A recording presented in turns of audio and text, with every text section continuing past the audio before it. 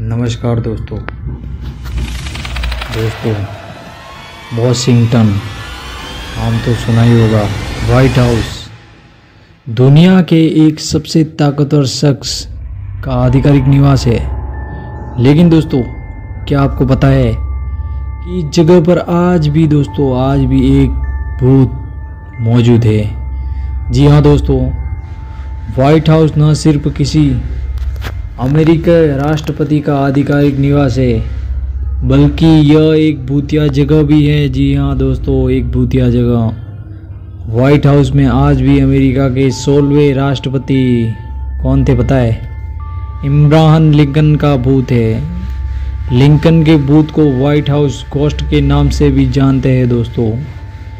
कहते हैं कि जब से लिंकन की मौत हुई है, तब से वाइट हाउस एक भूतिया जगह में तब्दील हो गया है। लिंकन की मौत प्राकृतिक नहीं थी दोस्तों, और उनकी गोली मारकर हत्या की गई थी दोस्तों, गोली मारकर। उनके दोस्त वार्ड हिल लेमन ने एक बार बताया था कि लिंकन को दोस्तों तीन दिन पहले ही अपनी हत्या का आभास हो गया था। लिंकन ने सपने में अपनी हत्या देखी थी। लिंकन के बॉडीगार्ड ने उन्हें मार डाला था।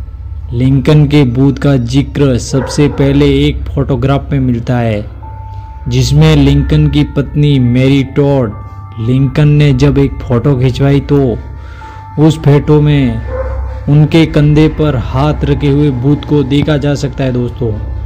इसके अलावा कई पूर्व राष्ट्रपति ने भी लिंकन के बेडरूम से कभी चलने तो कभी बात करने की आवाज़ आने की बात कही है। पूर्व राष्ट्रपति एलेनोर रूजवेल्ट की माने तो उन्होंने व्हाइट हाउस में पूरे दिन लिंकन की मौजूदगी को महसूस किया।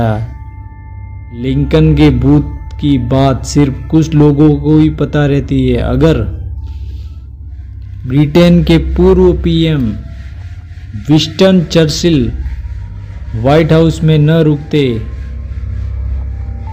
चर्चिल ने कहा था कि जिस कमरे में वह रुके थे, वहाँ पर एक कोने में आग जल रही थी। लिंकन ठीक उसी जगह पर खड़े थे। चर्चिल ने यहाँ तक कहा था कि दोस्तों, कि लिंकन को मुस्कुराते हुए भी देखा है, और फिर थोड़ी देर बाद वह गायब हो जाते थे। हालाँकि सन 1980 के बाद से किसी ने राष्ट्रपति की बूथ को नहीं देखा, लेकिन लोगों का मानना है कि लिंकन की आत्मा वाइट हाउस में आज भी भटकती है। दोस्तों, कैसी लगी हमारी यह वीडियो? वीडियो अच्छी लगे तो लाइक ज़रूर करें।